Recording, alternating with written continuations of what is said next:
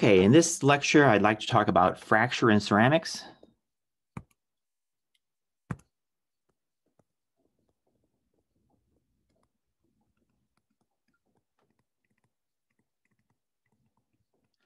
which are materials that are known to have high strength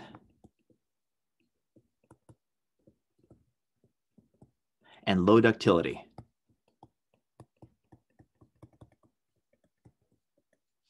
Which means that we're going to have brittle fracture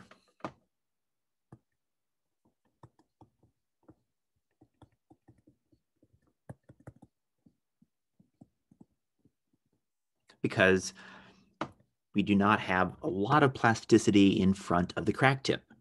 So like brittle fracture in metals, we're going to have uh, smooth cleavage and uh, intergranular cracking.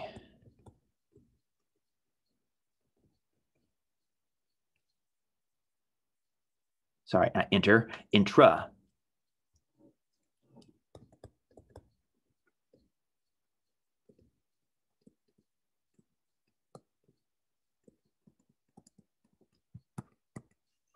So if you have a uh,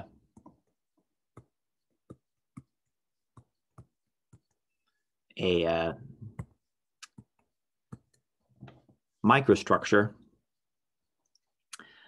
uh, intragranular crack cracking means that as you have a crack and it propagates, it's going to tend to just continue to, to propagate without uh, paying attention to the grain boundaries. You may have some deflection, but it's not a, a lot. Uh, now, we can modify that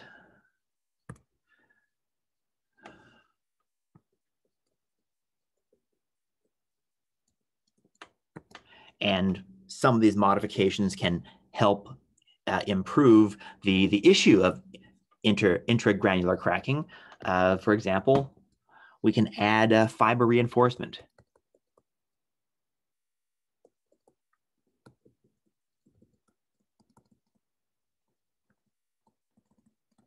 And this fiber reinforcement is going to assist in crack deflection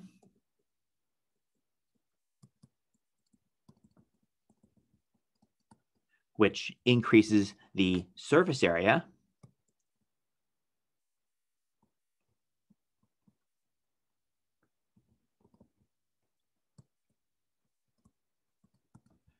Which means that's an outlet for energy consumption.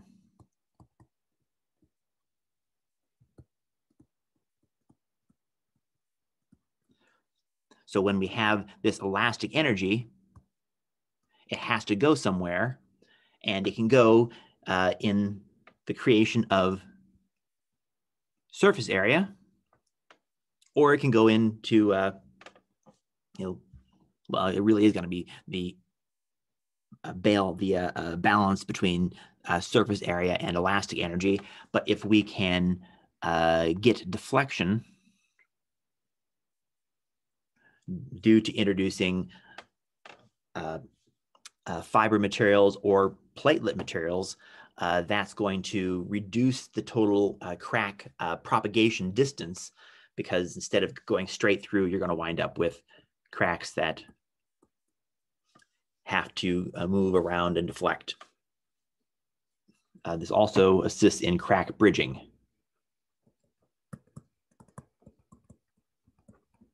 meaning that you'll have fibers that span across the crack length, uh, basically holding the crack together. And we'll we can talk more about that in in uh, uh, later if we have time to talk about uh, composites. Uh, other modifications to ceramics that we can add that will uh, improve the crack performance is we can uh, eliminate uh, surface defects and occlusions.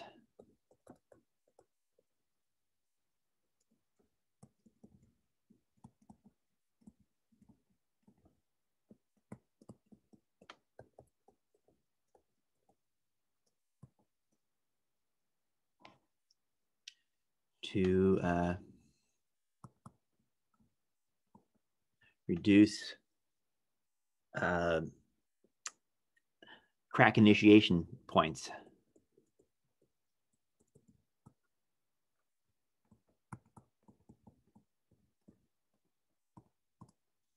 Now, having said that, uh, another uh, method to improve the performance is to actually uh, introduce microcracking ahead of the tip.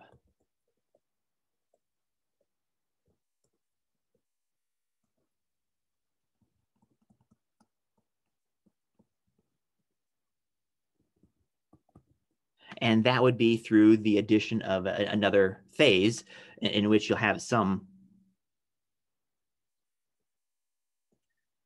material and you have some uh, second phase here such that as a crack comes forward, if it encounters this second phase, it's going to deflect the, the crack. So these two concepts are, are in, in many ways uh, counter to each other uh, and it really depends on the class of material that you're you're working with uh, and how these trade-offs play out. And, and lastly, uh, we can include phase transformations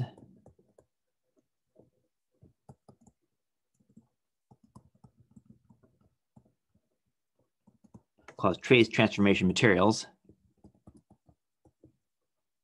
that uh,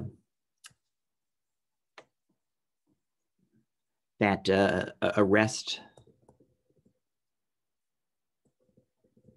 crack propagation.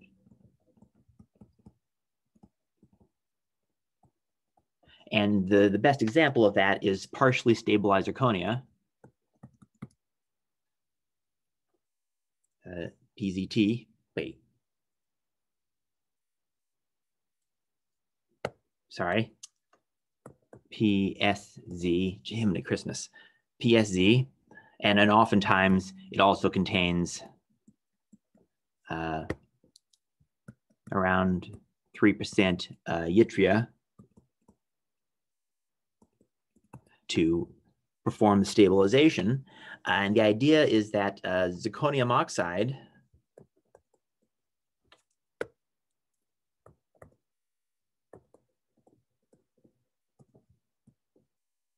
has um, multiple phases available.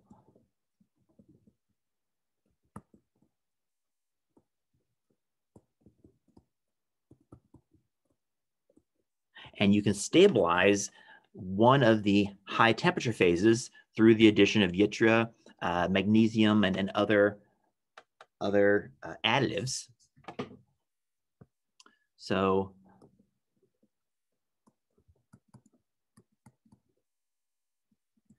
we'll have a, a tetragonal phase.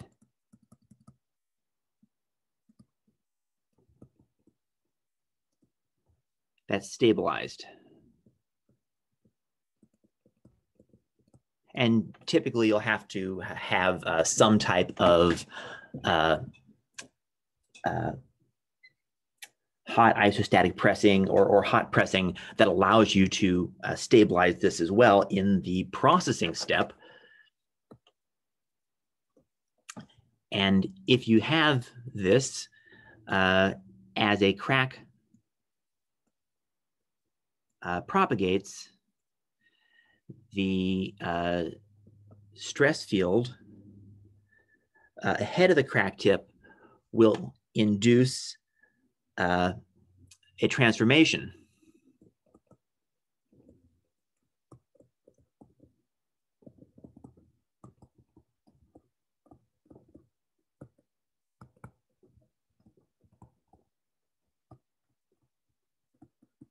to the uh, low temperature uh, monoclinic phase.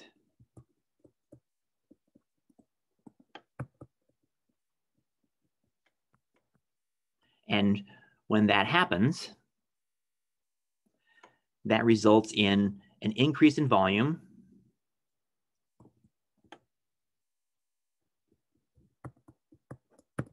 and uh, the addition of a shear stress.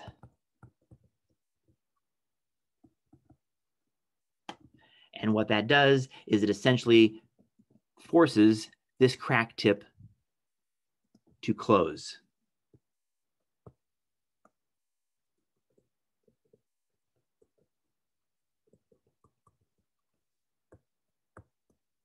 So this uh, partially stabilized zirconia, this is the type of thing that you see when you have you know these ceramic knives.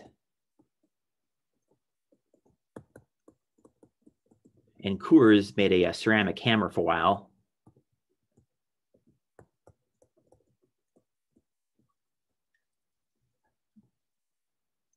Uh, you don't need just uh, uh, partially stabilized zirconia. This is also sometimes performed with uh, Al2O3 plus uh, partially stabilized zirconia, you'll put those, those two components together in which the Al2O3 would be the, the parent phase. Uh, talking about the geometry of these cracks, if you have your surface,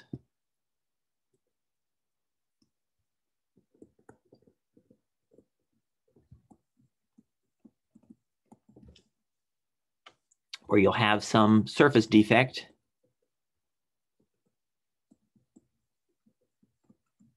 Which is something that, you know, of course, you want to minimize, uh, but nonetheless, you, you can't be perfect. Uh, and oftentimes these surface defects that come about from environmental considerations, for example, uh, water uh, corrodes uh, silica, SiO2.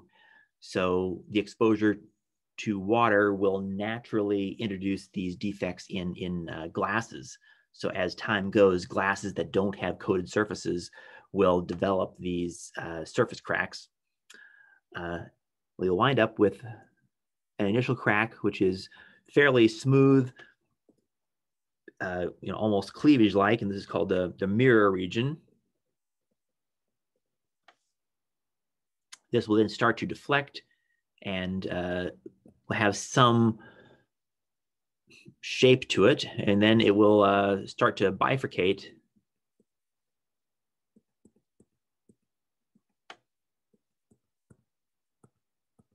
As it propagates. This region is called the mist region, and this region is called the hackle.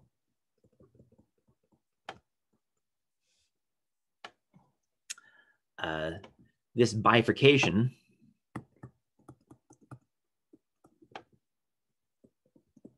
is, is due to uh, these fine cracks encountering defects and flaws.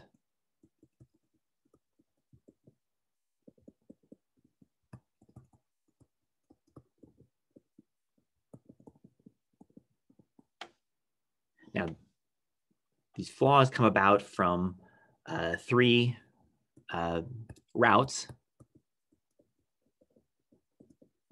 processing defects, uh, design defects, and uh, surface or a uh, service. Uh, design flaws and uh, produced. So talking about processing defects, uh, these can be inclusions, uh, thermal stresses,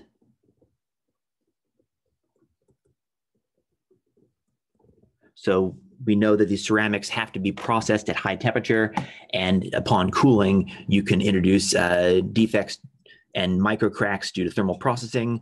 Uh, there can also be surface defects due to machining. in terms of design flaws, this has to do with the macroscopic design. Uh, you know, for example, the introduction of notches, uh, holes, and stress couples.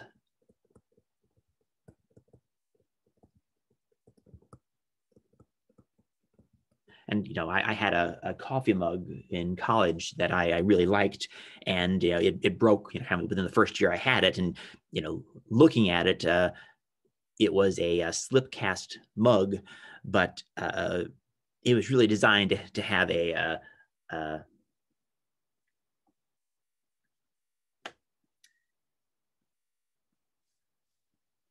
stress concentrator right where the handle connected to that mug. Little steam coming off my coffee there. Uh, and that stress concentrator uh, resulted in a fairly short uh, service lifetime for, for that coffee mug. Uh, and then uh, service produced. Well, you can have uh, damage due to pitting or uh, impact. You have this on your uh, the windshield of your car. Uh, I had the windshield of my car replaced after about uh, 25 years because the whole surface was scratched up from just uh, surface erosion.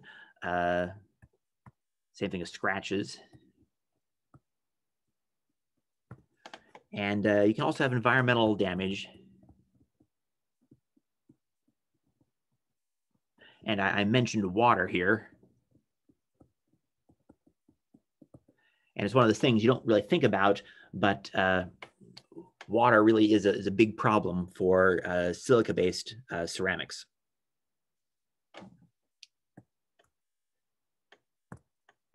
So let's talk about uh, impact of grain size.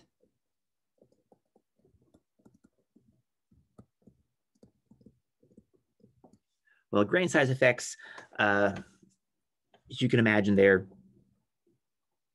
present uh, and, and they come about from our understanding of uh, fracture mechanics. If you remember from MSE 201, you've got your K1C, which goes as sigma pi over A, which means that sigma is equal to K1C over square root of pi A is equal to K1C over square root pi, I'm gonna call this D over two. And basically we're saying here that if you have a uh, microstructure, the largest allowed crack is d over 2. And if you get larger than that, it's just going to naturally propagate across the across the surface, which that tells us that our uh, yield, uh, well, let's call it our, our critical uh, stress is going to be proportional to d to the minus 1 half. But again, this is not a particularly uh, deep or insightful statement. This is just uh, you know, linear elastic fracture mechanics. Now, things that are unique to ceramics uh, are uh, Weibull statistics.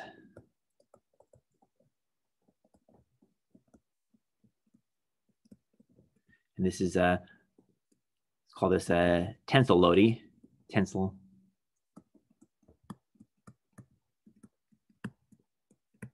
So this is kind of ceramics in their worst uh, case. Uh, Weibull statistics are the statistics of the probability of survival of a given volume. These are basically uh, statistics looking at the probability of finding a defect large enough for failure.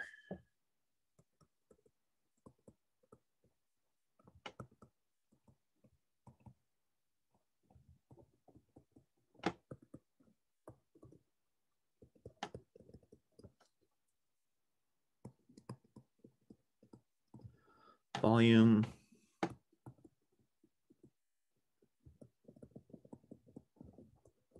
Defect large enough for failure.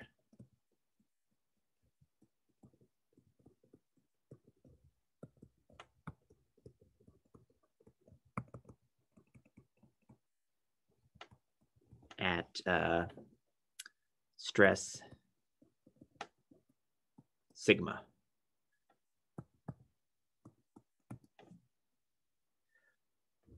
So an expression for Weibull statistics.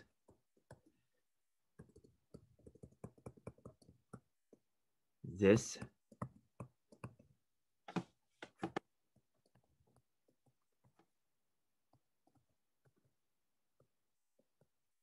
Okay. So Weibull statistics these are, our statements that uh, the strength is determined by the largest flaw.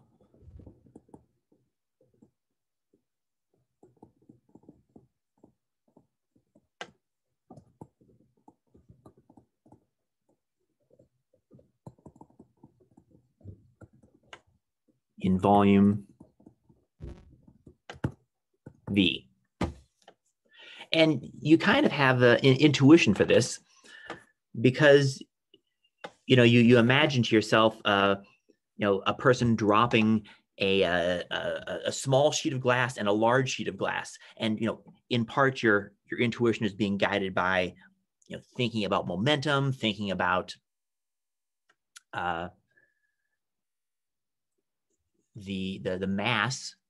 But it's also being guided by your intuition about larger pieces of glass tend to be more fragile. And that's because there's a higher probability that somewhere in that volume, you're going to encounter a volume that's critical for a, given loading.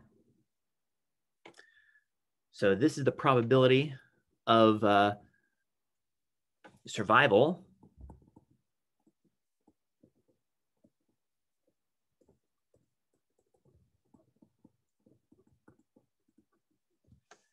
uh, I told you V is your volume and sigma is your stress. Uh, v naught and sigma naught are normalization terms. Right, you need that because of course you have an exponent here. Uh, so interior has to be uh, dimensionless. And, and, basically you're, you're talking about uh, your volume as a uh, function of a normalized volume containing a distribution of defects. Whoops. This uh, sigma u, that's a uh, material constraint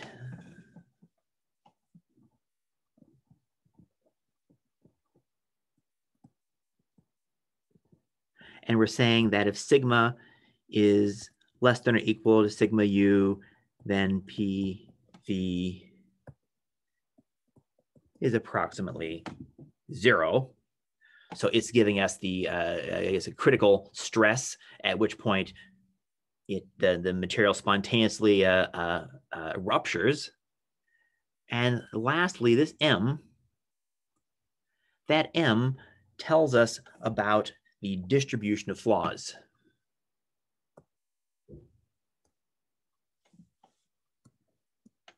It's called the uh, the Weibull uh, the Weibull modulus.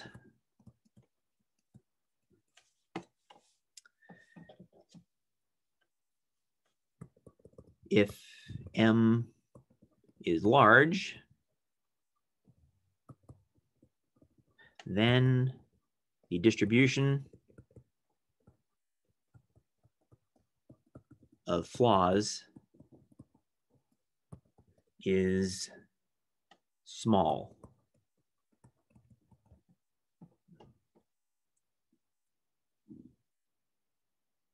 And M small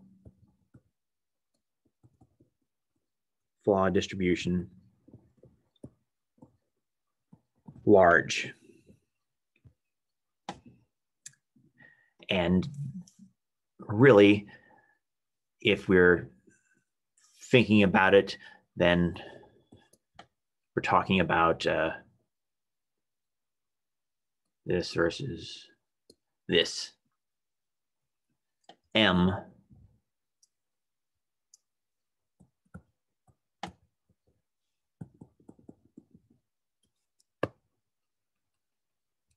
try making this a little nicer.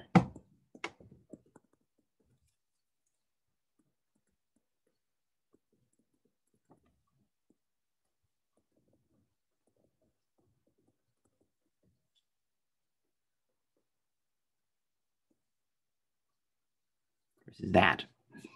And naturally, if you have something out here, you're going to have a material that is more susceptible to damage, particularly as you start sampling a larger volume of space.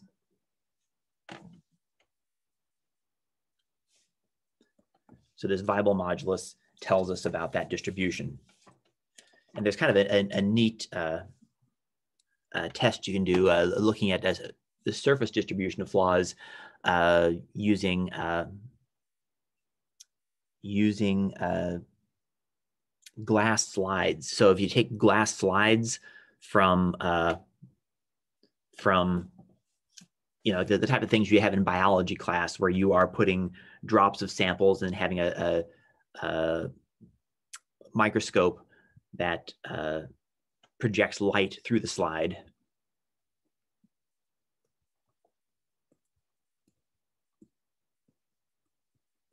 You have these, you have a natural distribution of flaws on these surfaces. And these flaws are due to uh, interaction with uh, water and the environment and being stored uh, for you know years on a shelf. Uh, but if you take and you uh, use hydrogen fluoride to wash the surface, and you're basically now taking your uh,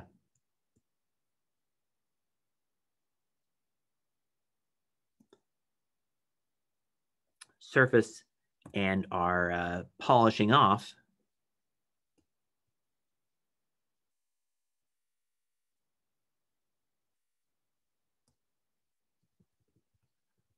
just that top surface layer, you are uh, change, transforming the distribution of flaws on the surface. And if you break, you know, 20 slides before uh, washing and 20 slides that have been washed, you can uh, plot these and you can see a, a, definite shift in the, the Weibull modulus. And that tells you that there's a, a change in the uh, population of uh, defects. So this is kind of the way to think about brittle fracture in you know your kind of your standard loading situation. Uh, compression is different.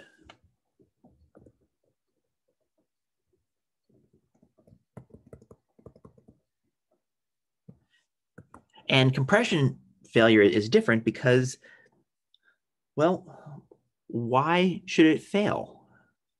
Right? Because if we think about linear elastic fracture mechanics, uh, is there a reason that a crack's kind of open if you're squishing them together? Um, and in fact, if you look at the mode of failure, uh, assuming that again you have your your surfaces uh, well lubricated, so you don't have surface sticking, and we talked about this uh, barreling before.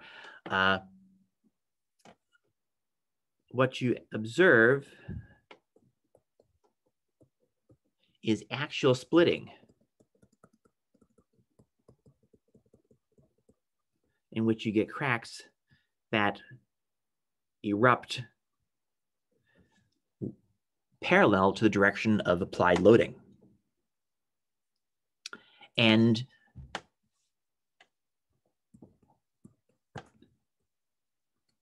this is, uh, uh, again, something that we have to consider coming from pre-existing cracks because we're, we're not really nucleating new, no, new cracks.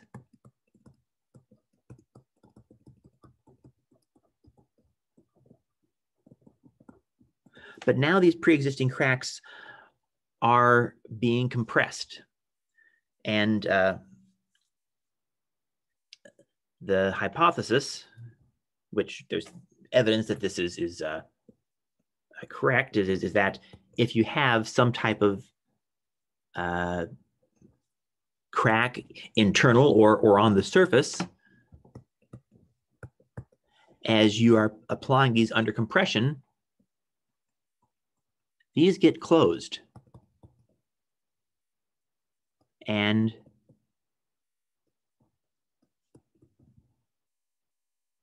once they're closed, they are able to slide past each other.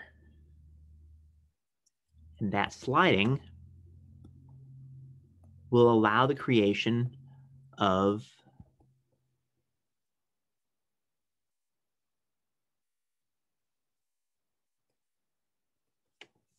these wing cracks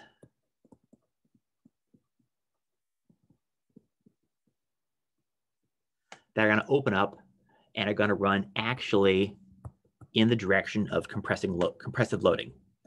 And observation is that these wing cracks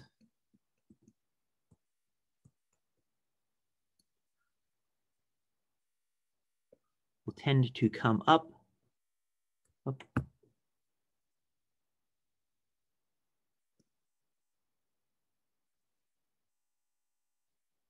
like this. They'll tend to wing up like this. And the uh, initial angle, whoop, my mistake.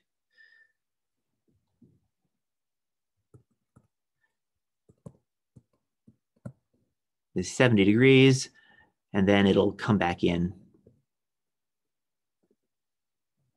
straight like that. So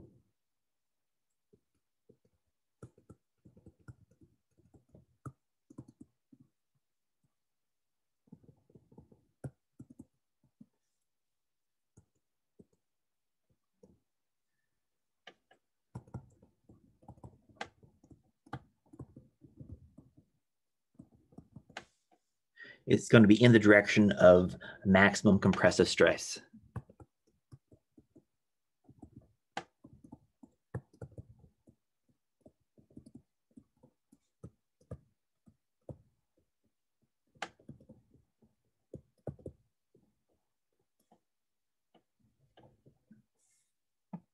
And the, uh, the criteria uh,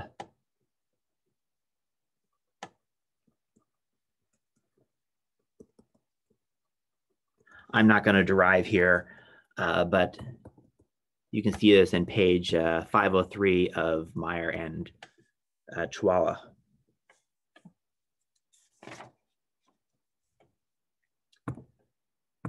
The uh, proposed modes then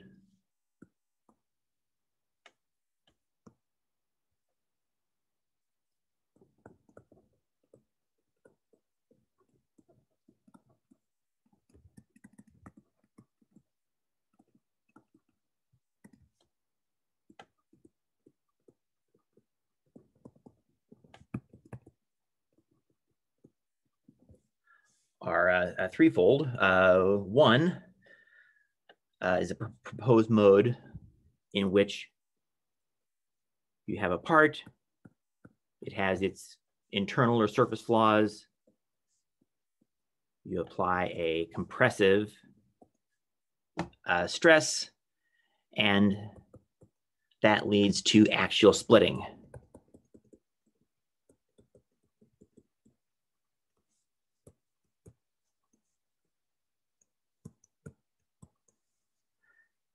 So you'll have a stress versus strain curve that goes up and you have this fracture. But you can have other modes. For example, you can apply compressive stresses in other directions as well. So for example, if I have compressive loading but then I also have axial uh, lateral loading in compression.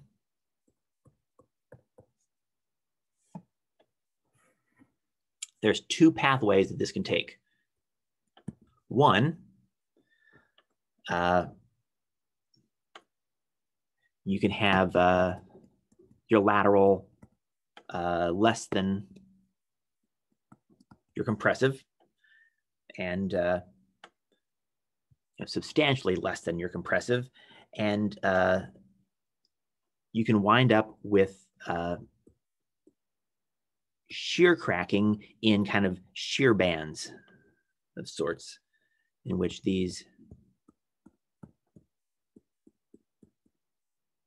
will combine together.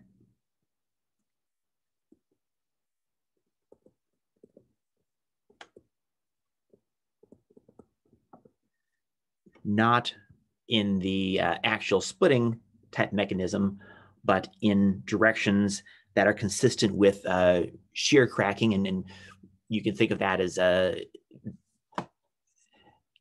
in directions uh, dependent upon like a, a Schmid factor type loading. Except now it's not dislocations, but instead it's it's a, a combination of micro cracks that that come together. So it, it really is still a stochastic process. And in that, you'd have stress versus strain. You'd have some some uh, failure. If, however, uh, your lateral loading is uh, getting close to the compressive loading, uh, now you will see uh, internal uh, crack behavior in which the, the, the cracks will be uh, confined.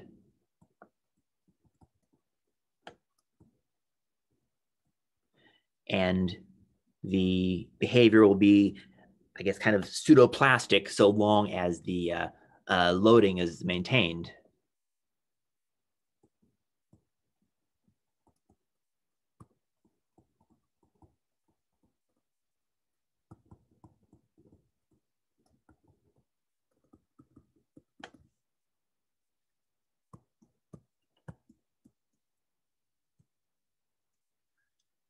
So you'll have uh, these cracks interacting with each other, but uh, they're maintained by the external loading.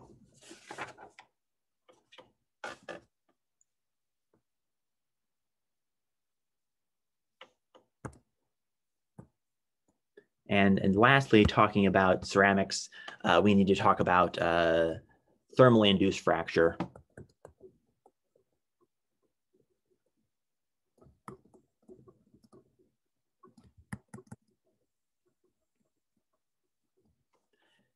And, and this is because ceramics are high temperature materials.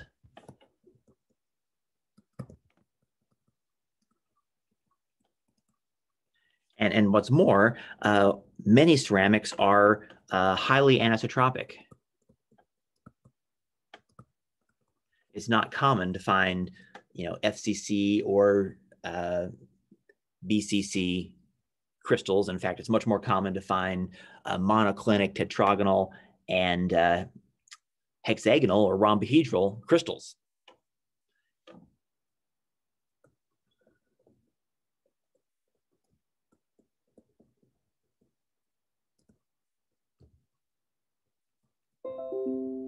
And in that case, you can have a fairly significant difference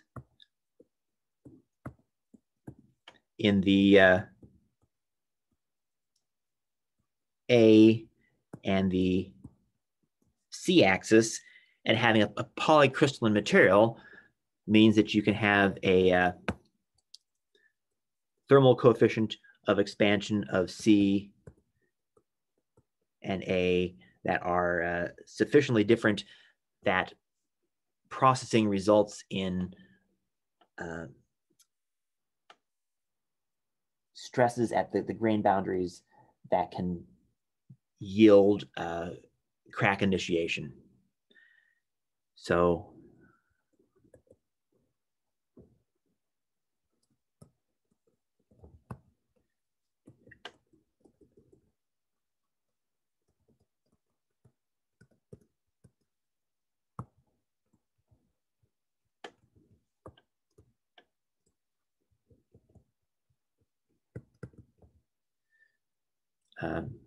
thermal coefficient of expansion.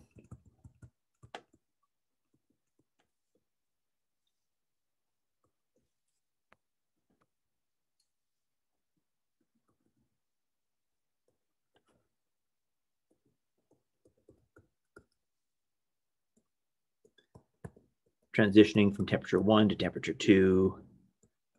You got the Young's modulus.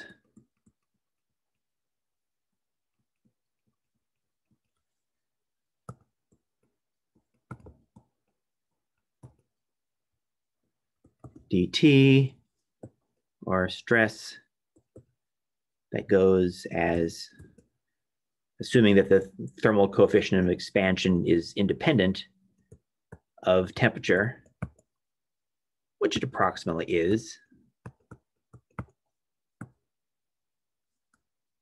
Delta T. And then, of course, remembering that from linear elastic fracture mechanics, pi a. So that's going to be from uh, your grain size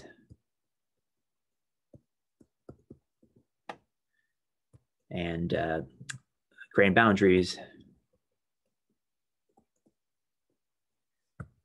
This is going to be your applied stresses. And in this case, it will be uh, coming from your thermal cycling. And uh, that's all I want to say about uh, uh, ceramics. This is an overview. It's something that uh, ceramics themselves are, are a fascinating topic you can spend years studying. But uh, for this class, I think we're gonna, we're gonna stop here.